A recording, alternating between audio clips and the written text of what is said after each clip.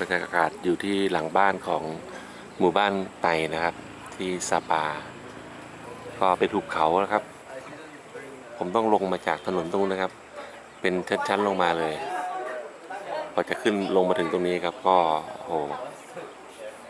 จากสปา 25 กิโลครับ เป็นบ้านคนไตมีไม่กี่หลังคาเรือนครับ ผมว่ามันสัก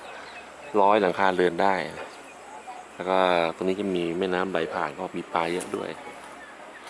ผมเห็นว่าแต่ละบ้านเลยเขาจะปลูกผักไว้กินเองนั่นเป็นแม่น้ำครับที่ เออผมก็งงไปหุบเขามันจะไหลไปที่ไหนอะมันหายไปตรงไหนนะน่าจะมีทางออกอยู่ตรงซีกไหนสักซีกหนึงครับนี่ครับเป็นแม่น้ำที่ไหลผ่านหมู่บ้านคนไตคงจะผ่านน้ำออกมา เพื่อที่จะทำพวกการเกษตรนี่ครับ เป็นนาเป็นขั้นขั้นขั้นไปครับ แล้วก็เลี้ยงไก่เลี้ยงเป็ดไว้นะครับนี่ครับเลี้ยงีลูกเทียบด้วย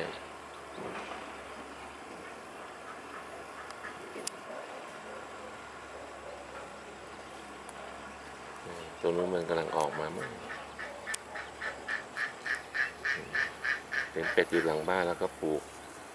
พืชผักสวนครัวนะครับ วิถีชีวิตของชาวไตที่อยู่ที่สปาเนี่ย เป็นประมาณนี้ครับ โอเคครับเที่ยวสายใจกับมิสเตอร์เขาเซียครับ